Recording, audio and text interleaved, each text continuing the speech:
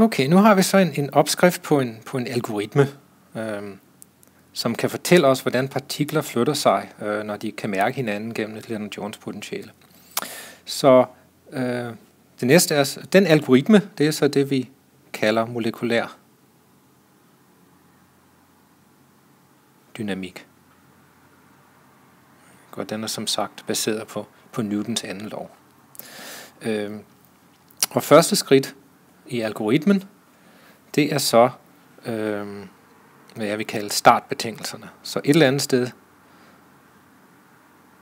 skal vi jo starte. Og det har vi sådan set snakket om øh, i sidste uge. Øh, nogle af de ting, øh, vi skal i gang med her. Eller de fleste ting med hensyn til, til startbetingelser. Så hvad skal startbetingelser, det betyder så nu, som vi har, som vi har skrevet det her, øh, hvis jeg lige flytter det ned.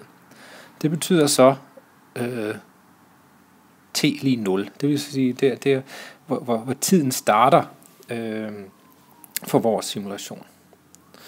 Og det vil så sige, at vi skal have øh, x-koordinatet, nu skriver jeg så xi, ikke, fordi der er flere partikler, øh, og vi skal have koordinaterne, nu gør jeg det bare i en dimension, vi skal have x-koordinaterne øh, for alle partiklerne ved t lige 0. Øh, og det har vi så snakket om, hvordan vi gør det, øh, hvordan vi vælger det tilfældigt. Øh, den anden ting, vi skal vælge, det er delta t, så hvor, hvor store skridt tager vi ud i tiden. Øh, og det kommer vi til at snakke om øh, øh, længere nede, eller på, på nogle senere videoer. Men altså, det skal være et eller andet tal. Øh, vi skal nok finde en fornuftig løsning. Øh, når vi har x-koordinaterne, så har vi jo også øh, kraften. Ikke? Så x-koordinatet det giver anledning til en afstand. Hvis vi har afstanden, så har vi potentialet, og hvis vi har potentialet, ikke, så har vi kraften. Og det er så ved t lige 0. Okay, så vi har den her, det er t lige 0, x lige t lige 0. Vi har den her, det er delta t, det er et tal, vi skal vælge. Vi har kraften, fordi vi ved, hvor partiklerne sidder, og vi skal selvfølgelig også vælge en masse. Så hvor tunge er partiklerne? Og det kommer også an på, hvad vi vil, hvad vi vil modellere. Øhm, okay, så mangler vi sådan set bare øh, den her. Og det er jo lidt problematisk. Det er jo positionen af partiklerne ved et tidligere tidsskridt. Men vi har ikke taget vores, vores første tidsskridt endnu.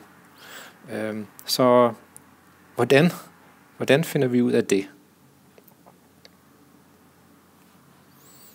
Hmm, det er lidt svært.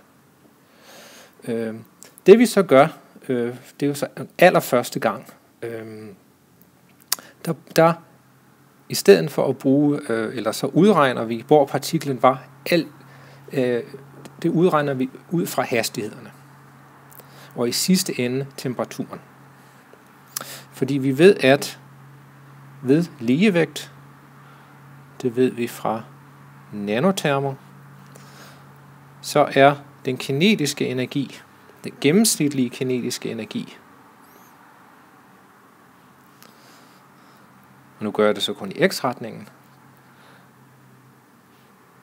det er lige med en halv kt.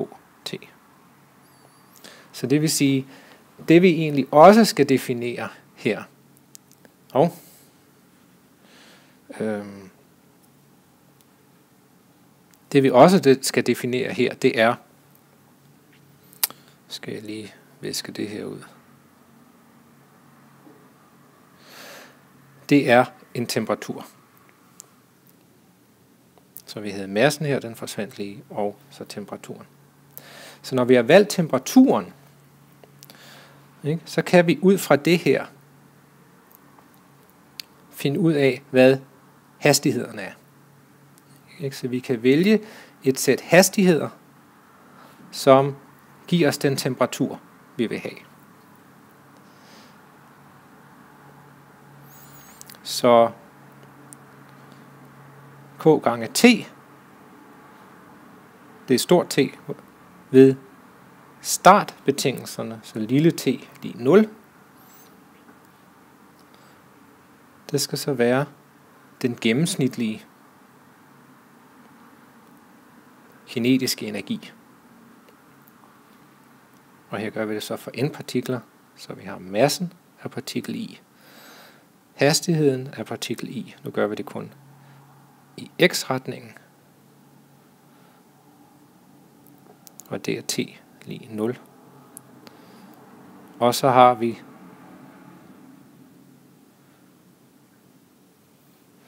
det er så kun for x-retningen, men generelt har vi jo så tre retninger, ikke?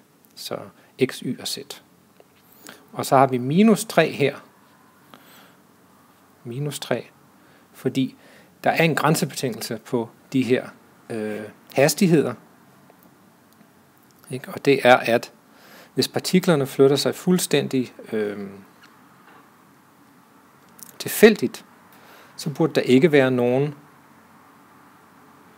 øh, hastighed i en bestemt retning for alle partiklerne. Så hvis du lægger alle hastighederne eller alle retningerne sammen, øh, så burde du få 0, øh, fordi de er tilfældige. Ikke? Så vi modellerer en gas, som, som, som ikke flytter sig. Den er inde i beholderen, men den flytter sig ikke til højre eller venstre som en, skal vi sige, som en helhed.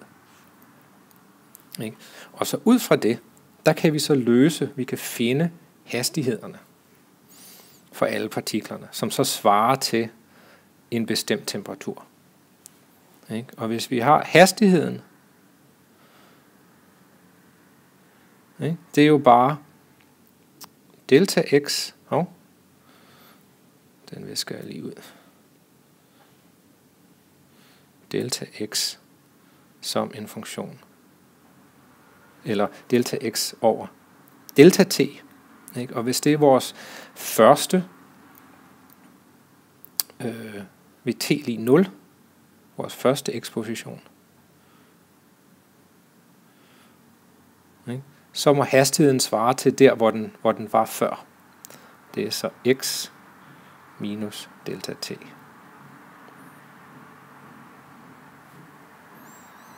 Okay, og det vil så sige, at i sidste ende ved vi så, hvor partiklen var før uden sådan set, og det ved vi ud fra hastighederne, og hastighederne ved vi ud fra temperaturen. Okay, så det er øh, startbetingelserne. Næste video vil jeg så snakke om, om det næste, øh, det næste led i algoritmen.